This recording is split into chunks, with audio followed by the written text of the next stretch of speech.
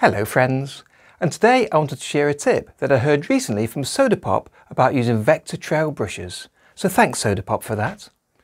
And I've shown previously in a video how to set up and use vector trail brushes, and you can find a link to that at the end of this video, so do stick around for that.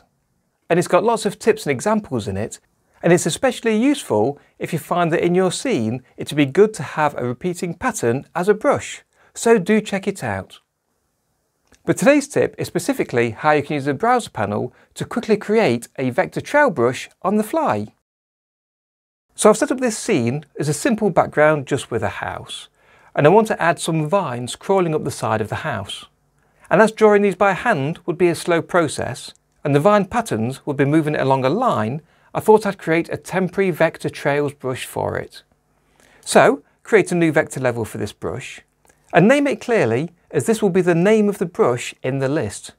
And the brushes are listed alphabetically, so I'll start it with an underscore which will show it first and be easier to find when I restart. And then draw your brush images, which for me will be a number of leaf-like shapes.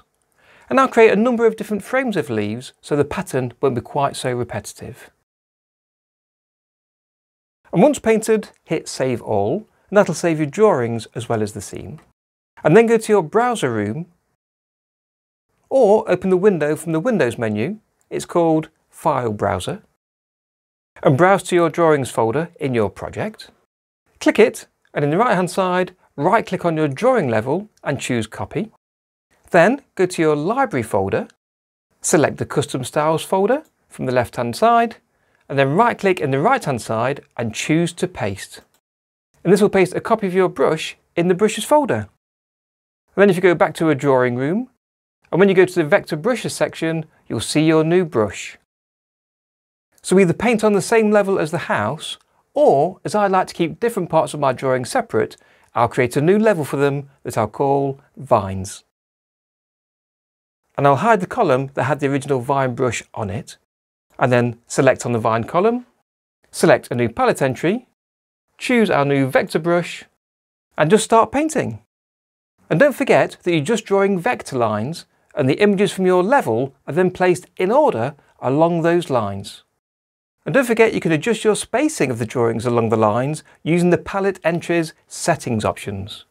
So with your palette entry selected, choose settings and then change the distance. So it's as easy as copy and paste to easily use a repeating pattern to use as a brush. So don't be afraid to create your own. And if you found this tip useful, you know what to do. And as I said at the start, here's a video with a more detailed description of how you can use these Trails brushes. So go ahead, create your own brushes and watch it speed up your workflow. And that's a guarantee.